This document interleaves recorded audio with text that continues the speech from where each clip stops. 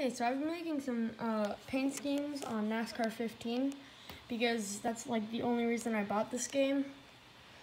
And so, I'm just gonna show you one of my paint schemes. This is a Nerf, it's a Nerf paint scheme. So, I made the logo. I got the, I made the darts, which I thought were funny. Um, it says Nerf this on the back, which I think is funny. And then it's just the same on this side. But if we go down here, it's Nerf for nothing. And then got just a normal Nerf and Allegiant because that's my other, that's my main spot, main sponsor.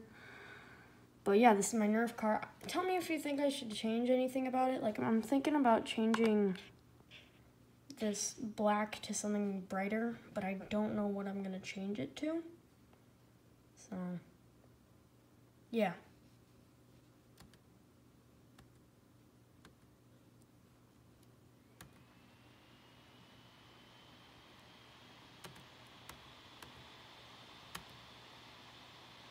I think this is my favorite view, is just with the it's new for nothing on the back. I think that's cool. Anyways, bye.